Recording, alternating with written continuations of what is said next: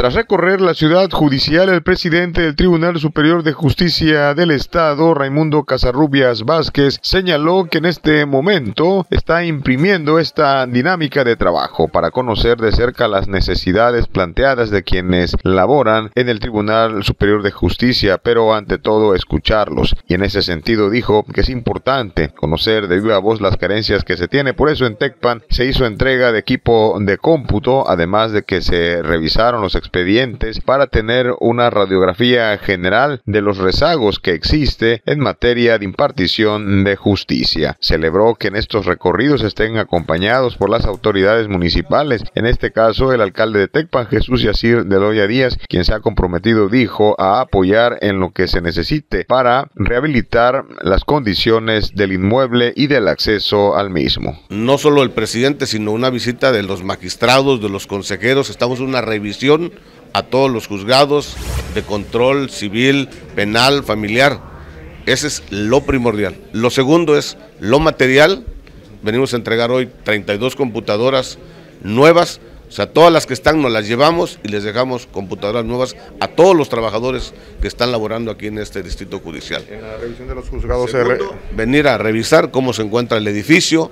Tiene 12 años que se construyó y entonces pues me decían que ya estaba deteriorado, me estoy cerciorando que efectivamente así está, yo tengo unos meses que llegué, pero le vamos a meter mano. Presidente, eh, incluso se ha dicho el, acceso principal, ¿no? Desde la carretera federal hasta acá.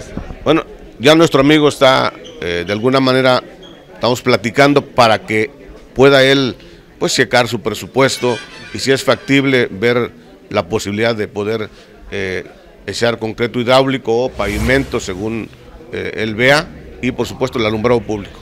De, acuerdo a lo que está viendo usted de las condiciones, cómo está eh, este edificio, se requiere una inversión bastante fuerte. Sí, y vamos a, programarlo para, voy a pedirle apoyo a la gobernadora, le vamos a tomar unas fotos pues para que nos apoye, porque lamentablemente no está considerado en el presupuesto del año 2022. Eh, eh, hablaba hace un momento de la revisión en, los juzgados, ¿es relacionado a los trámites que se llevan a cabo? Sí, al proceso, que se vaya llevando adecuadamente como lo marca la ley.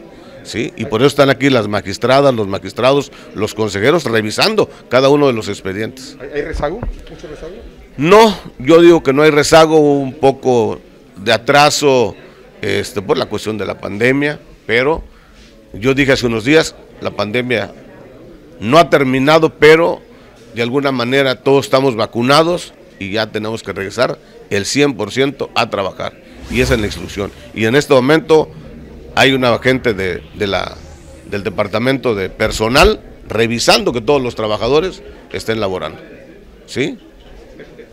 Pues ya, ya no podemos estar en casa, ya se terminó pues el tema de, del asunto de la pandemia. Casarrubias Vázquez aseguró que es importante destacar el trabajo que se está realizando, toda vez que se emitirá un informe y peticiones anexadas a la gobernadora del estado, Evelyn Salgado Pineda, para que apoye al Tribunal Superior de Justicia en el sentido de mejorar las condiciones de las áreas de trabajo. Con imágenes de Servando Mellín informó para Canal 6 Guillermo Hernández. CN6 Noticias. De lunes a viernes, 8 de la noche.